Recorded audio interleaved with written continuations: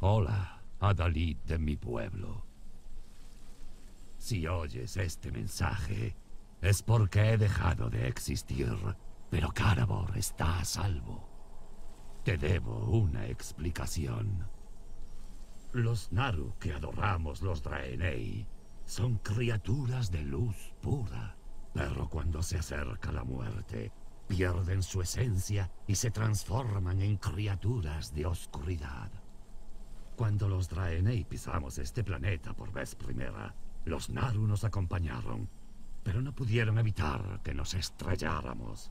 La estrella oscura que apareció en el cielo de Draenor aquella noche no era un astro. Era un Naru caído, expulsado de nuestra nave en un momento de pánico y terror. Se llamaba Kara. Lo que una vez fue una criatura de fe y belleza se convirtió en un dios oscuro y hambriento, una fuente viva de oscuridad.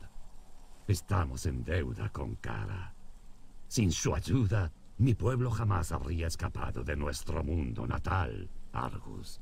Contemplar la transformación de Kara en una sombra fue muy doloroso. Cuando el Naru volvió, hice lo que era necesario. Recuerda, la vida es la luz.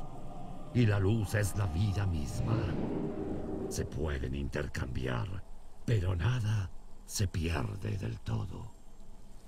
Espero que mi gente lo comprenda.